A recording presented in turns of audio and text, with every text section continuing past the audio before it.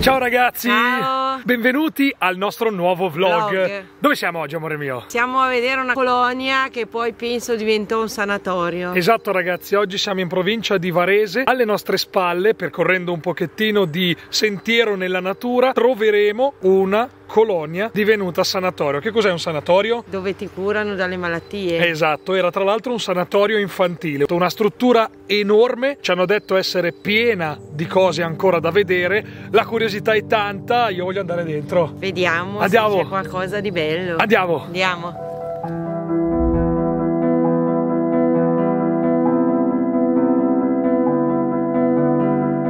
Per fortuna il sentiero è facile, la parte sotto di noi è battuta, ci sono delle piante, degli arbusti a destra e a sinistra, ma una volta arrivati alla fine si comincia a scorgere un edificio rosastro in mezzo alla vegetazione. Direi che abbiamo di fronte il sanatorio.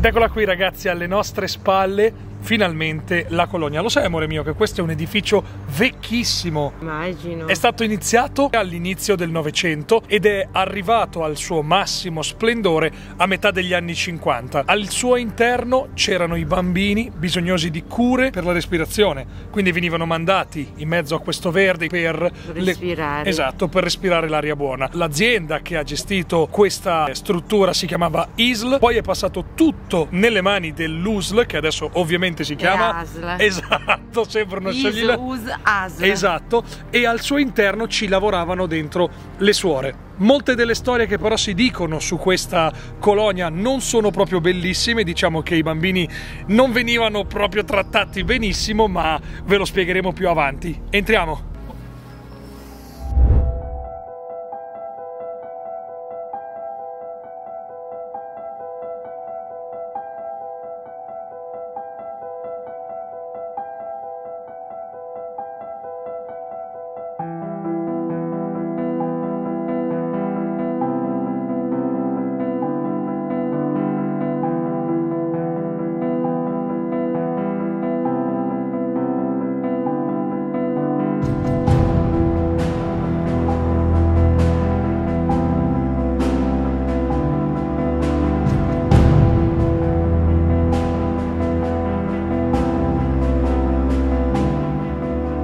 Ovviamente nella struttura era anche presente una chiesa. Qui davanti vediamo quello che ne è rimasto e siamo fortunati perché c'è un- una specie di rosone ancora intatto, il vetro non è stato fortunatamente danneggiato. Aia, questo è tutto che fa male.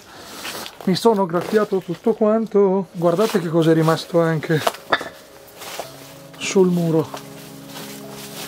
Molto molto bello. La Madonna intagliata in una roccia, ma quello che ci interessa vedere se riusciamo ad arrivarci è l'ingresso, che come sempre non è facile da raggiungere, voi non li vedete, ma vi garantisco che è pieno di rovi. Ed eccoci qua sulla porta. Ho sentito delle voci. Vediamo se c'è dentro qualcuno. Cerchiamo un ingresso.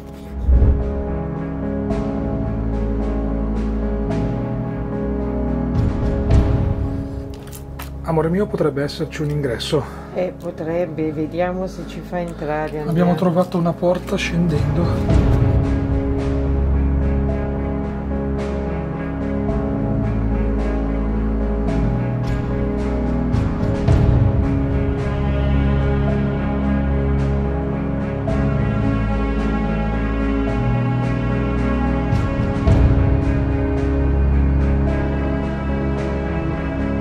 Dei vecchi macchinari Anzi, questa era la caldaia. Questa ragazzi era la caldaia della struttura, dell'impianto. Ecco tutti i macchinari, ma con eh, sicurezza posso dirvi che abbiamo trovato un modo per, per entrare. E adesso entriamo.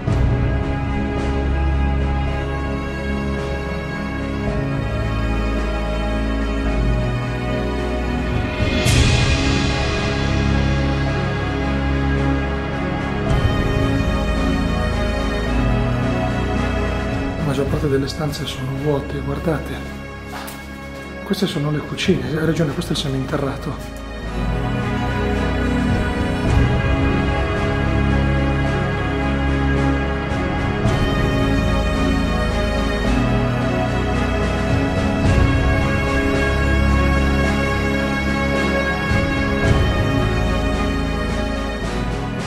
Prima di uscire dalle cucine volevo farvi vedere due cose che sono veramente molto belle. La prima è questa, ed è un montacarichi.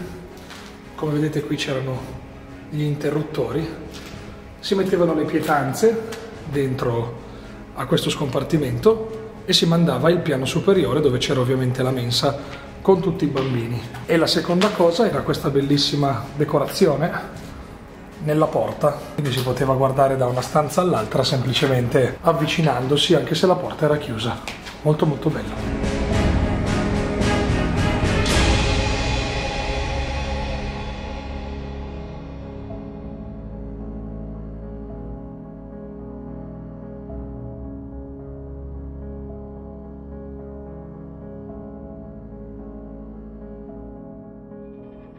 Amore mio, siamo arrivati in una stanza che è facile intuire dove, che quale sia. Dove siamo?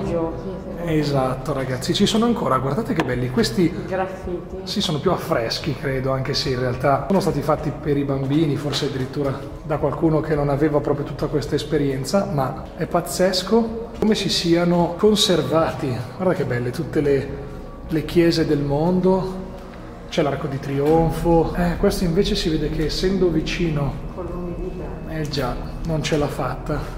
Girando ci sono delle porte murate. Questi sono veramente meravigliosi, amo. Che bello poter vedere cose intatte in questo modo. Parliamo di disegni che hanno almeno 50 anni. Siamo arrivati in un'altra parte molto importante. C'è anche una chiesa, purtroppo non è rimasto nulla, tranne. Esatto, hanno purtroppo rotto anche l'altare, è sempre un peccato vedere un luogo sacro, sopra al tetto c'è anche un affresco, eccolo lì, e andando avanti ci avviciniamo all'altare salendo su quello che era sicuramente uno dei posti più visitati la domenica, però guardate, sono rimasti dei fogli o meglio degli spartiti musicali scritti a mano